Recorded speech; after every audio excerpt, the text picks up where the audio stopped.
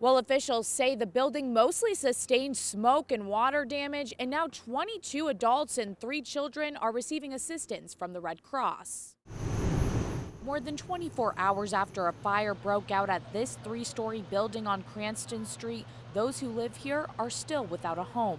Jamie Wewell lives down the street and says she knows one of the people displaced. He's doing okay.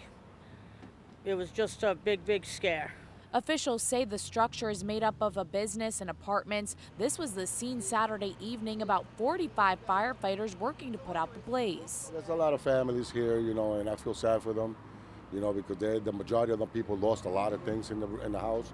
12 News spoke with one resident Saturday afternoon. He did not want to show his face on camera, but tells us about what he saw when he heard the fire alarm go off.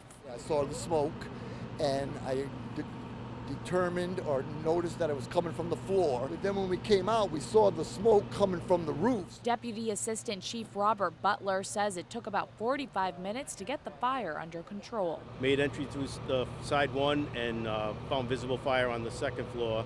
Started knocking it down, and then it made its way up into the loft area because of the structure of the building. He says the flames made their way up into the loft area. Because of the construction of the building, it's a balloon frame. Uh, the fire travels very rapidly through there. It's unclear how long those who live here will be displaced.